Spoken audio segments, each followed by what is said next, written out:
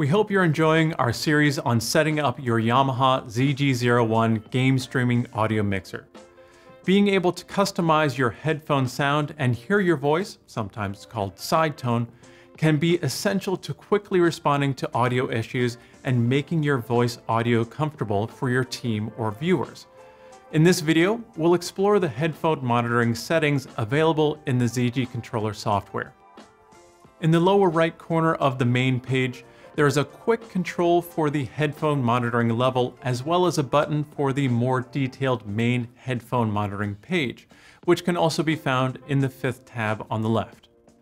The headphone monitoring page has two sections for headphone EQ presets and the mic monitor slider at the bottom. If you'd like an EQ for your headphones, four presets are provided for gaming headphones, studio monitor style headphones, in-ear earphones, and our own YH-G01 gaming headset. These can also be used as starting points if you'd like to create an EQ tailored to your favorite headphones. Simply use the copy function to create a new user preset. Then with the EQ turned on, select edit to open the four band EQ and customize it to your liking. Check out our mic settings video in this video series to learn how to make these adjustments.